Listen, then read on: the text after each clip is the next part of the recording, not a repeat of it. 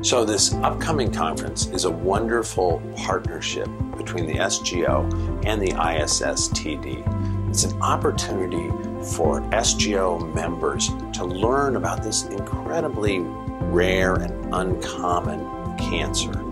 Uh, they will see the entire spectrum of this disease presented both in a uh, state of the art course, so covering all aspects of the disease in a didactic fashion but then in the next few days, they will learn about the research, the clinical research, and the basic science research on this disease. And from low risk trophoblastic disease all the way through to the really rare uh, trophoblastic diseases such as a placental site trophoblastic tumor and epithelioid trophoblastic tumors, the really, really rare tumors that they may never see in their lifetime, but they really need to know something about.